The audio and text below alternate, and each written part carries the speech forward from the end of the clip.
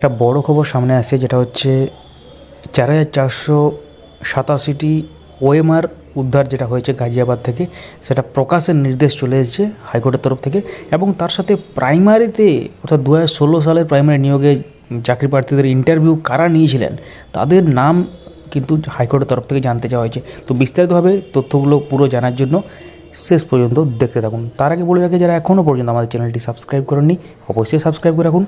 পাশে থাকা bell icon press করে অল করে দিন, তাহলে আপডেটগুলো মিস করবেন না। ভিডিওটি লাইক এবং সবার সাথে শেয়ারও করে দেবেন।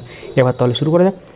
তো অবৈধভাবে চাকরি যারা পেয়েছেন, তাদের ক্ষেত্রে খারাপ দিন আসতে চলেছে। অর্থাৎ কলকাতা হাইকোর্টের বিচারপতি বিশ্বজিৎ বসুর রোষের মুখে পড়লেন অবৈধ চাকরি পাবরা কারণ গ্রুপ ডি যে মামলা শুনানিতে মঙ্গলবার দিন সিবিআইকে উদ্দেশ্য করে বিচারপতি যেটা বলেছেন যে, ঘুষ দিয়ে চাকরি পাওয়া ব্যক্তিদের সরাসরি জিজ্ঞেস করুন, কাকে টাকা দিয়েছে।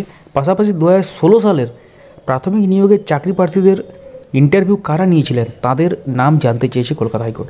এবং শিক্ষক নিয়োগ দুর্নীতি নিয়ে ইতিমধ্যে রাজ্যে বিভিন্ন রকম ধরনের ব্যাপার আপনারা শুনেছেন। একাধিক মামলা চলছে কলকাতা হাইকোর্টে।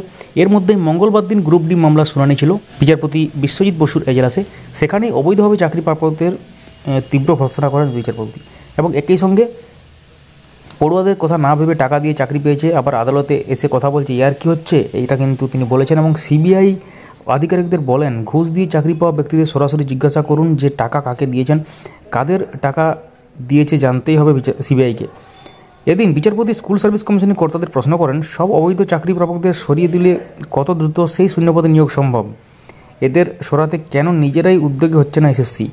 এবং পাশাপাশি গাজিয়াবাদ থেকে উদ্ধার হওয়া চার হাজার চারশো সাতাশিটি গ্রুপ ডির ওএমআর সিট একত্রিশে জানুয়ারির মধ্যে প্রকাশ করার নির্দেশ হয়েছে। হ্যাঁ আপনারা ঠিকই শুনছেন।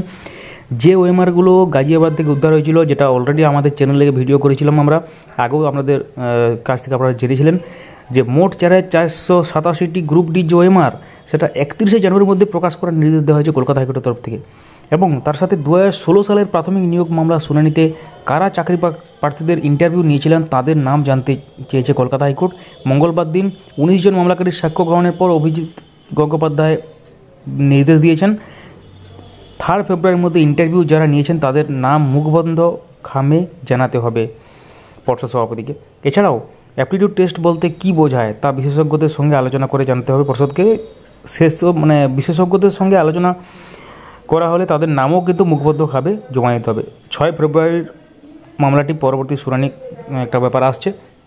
তো উল্লেখযোগ্য তথ্যটি আমরা জানতে পারলাম, যেমন একাধারে যেমন এসএসসির গ্রুপ ডি এবং এদিকে প্রাইমারি দু হাজার ষোলো সালের যে রিক্রুটমেন্ট প্রসেস অর্থাৎ দু হাজার ষোলোর যে রিক্রুটমেন্ট প্রসেস প্রাইমারি অর্থাৎ দু হাজার চোদ্দ টেট থেকে প্রথম দফার যে রিক্রুটমেন্ট প্রসেস সেক্ষেত্রে ইন্টারভিউ সম্পর্কে এবং অ্যাপটিউড টেস্ট সম্পর্কে একটা ব্যাপার উঠে আসছিল যে কারা নিয়েছিল, তাদেরকে এখানে একটা মানে ব্যাপার উঠে আসছে। সেক্ষেত্রে পর্ষদ সভাপতিকেও যারা যারা ইন্টারভিউ নিয়েছেন, তাদের নামগুলো কিন্তু পর্ষদ সভাপতিকে জানাতে হবে। এটা কিন্তু নির্দেশ দেওয়া হয়েছে। তার মানে উল্লেখযোগ্য তথ্যটা উঠে আসছে, যেটা আপনাদের সকলেই জানা উচিত ছিল। অবশ্যই কমেন্ট করুন। যে আপনারা কোন জেলা থেকে ভিডিও দেখছেন, অবশ্য আর আমাদের সঙ্গে যুক্ত থাকুন বিভিন্ন ধরনের খবরগুলো জানার জন্য। Thank you so much for watching